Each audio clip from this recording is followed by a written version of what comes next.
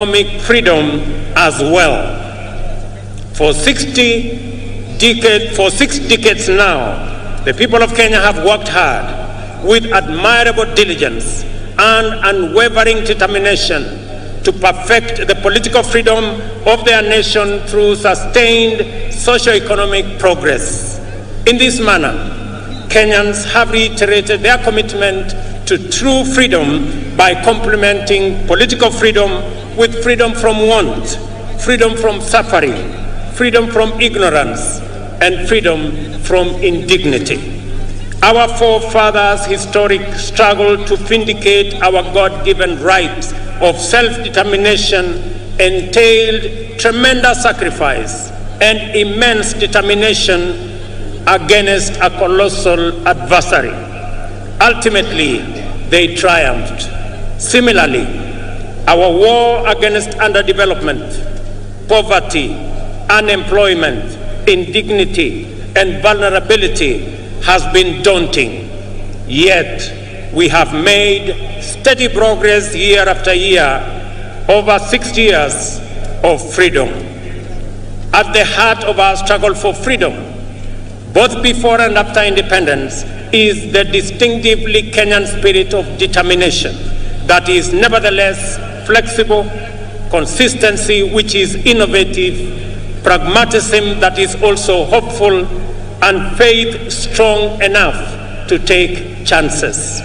The sacrifices required were inspired by a spirit that is truly unique, which transcends ordinary decision making.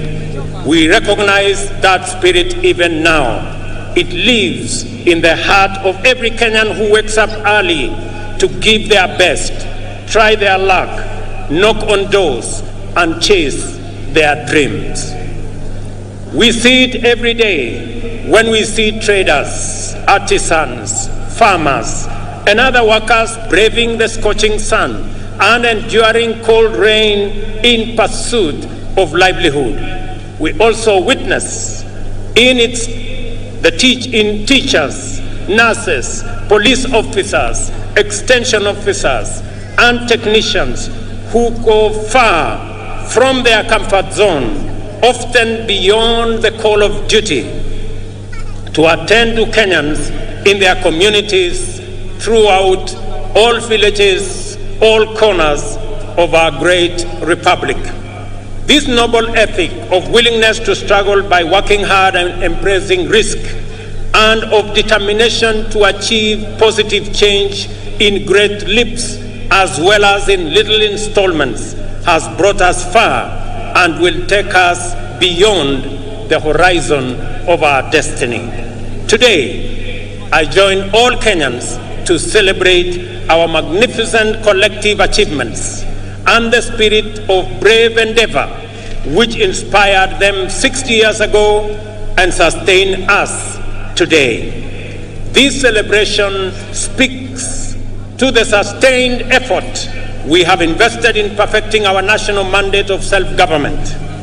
I will highlight the wonderful ways in which we have stewarded political freedom into democratic maturity, enhanced economic freedom by empowering enterprise, and expanded social freedom by securing dignity.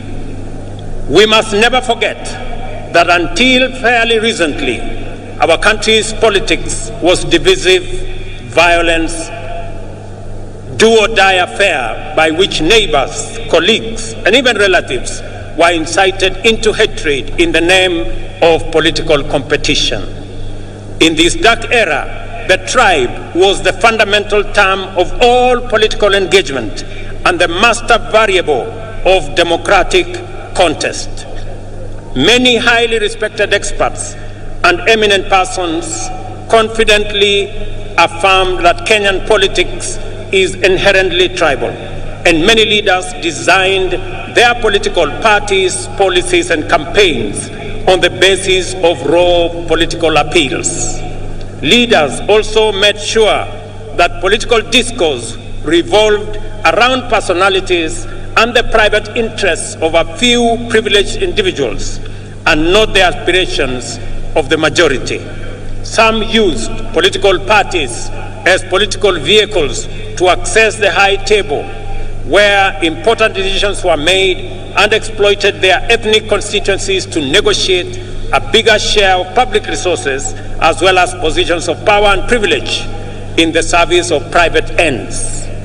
For decades, Kenyans understood that this perverse political culture not only defiled our democracy, but also obstructed the spirit of daring and achievement, arresting our collective progress.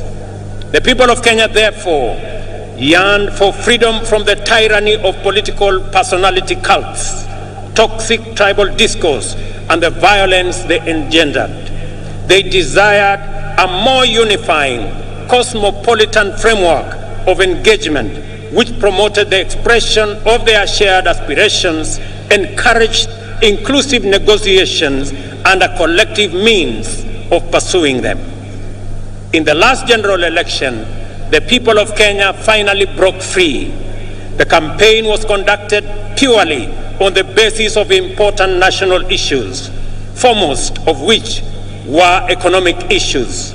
Not only did Kenyans reject the old divisive politics of tribe and tribal chiefs, but they also demanded and interrogated well considered party manifestos with detailed plans for economic transformation. As a result, although the election was closely, closely contested, it was the most peaceful in the multi party era in Kenya. And I want to congratulate all Kenyans for being participants in this great feat. Our public discourse and political discussion and the agenda of social debate has changed for good. Substantive policy issues continue to define the national conversation well beyond the election. At the moment, there is a robust debate on the finance bill taking place everywhere in this country, in churches, social places, formal and informal workplaces, all media platforms, and busy markets, as well as in urban and rural gatherings. We are truly a trailblazing nation. Many countries struggle in vain to generate a national debate on public financing, taxation, or other policy issues. In Kenya, we have easily sustained intense discourse on the finance bill and the affordable housing policy for weeks now.